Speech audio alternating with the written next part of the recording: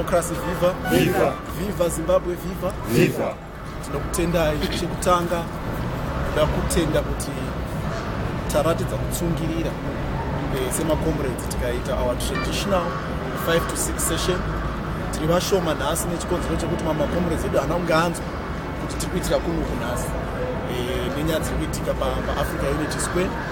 Eh, ndinoda kuti ndikukurudzirei macomrades kuti ngatirambei takatsungirira on behalf of our comrades vari kumajeri vakasungwa zvisiri pamutengo vari kusungwa timire navo macomrades nhasitati kukoti mari dzemabheu dziri kutsvaka futi yavo yaendeswa namakomrades iye nhasi ari kuendesa chikafu chevanhu vavo. Mangwana andonga ndiyo ndiyo. Tinouya pano. Ngatiwei takawanda semawandira taa takuita kupi kusquare and continue this program the most important thing is to send the message clearly that we are now no longer stoppable we are no longer going to stop this action. Taoccupy tajamuka sesijikile macomrades ekubulawayo alontsha nhasi occupy yavo pabulawayo city hall. I'm getting mareports ekuti kunana gweru kunana masvingo kunana mutare macomrades aorganize kuti valonche occupy. Serious? to occupy nzvimbo idzodzo kuratidza this regime of our anger of our impatience of our despair of all the things that are affecting us. Enough is enough.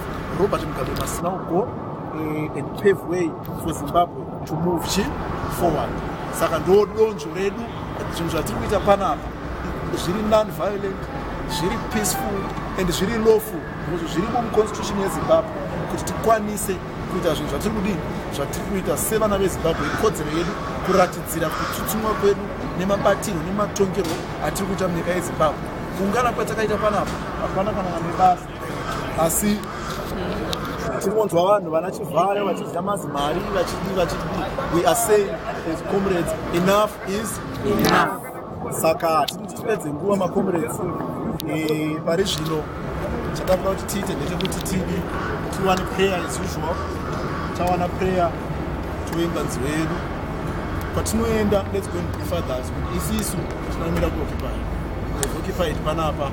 We expect macomrades tomorrow in all their numbers. Tinge tiri panapa. Vakauya panapa isusu will be the next and the next and the next. But the truth is we are no longer going to stop to have a five to six session reflecting on the, on the national question reflecting on the state of affairs in our country reflecting on how as young people how best we can intervene and step up our game and reclaim our country from selfish and idiotic leaders who do not care about our welfare, who do not have our interests at heart, and we have nothing to do with ensuring that we are employed and we're able to take care of our families. So I thank you. takuda kuti kana pana comrade vari kunzwa kuti eh, vari kunzwa kuti vari kwanisa kuti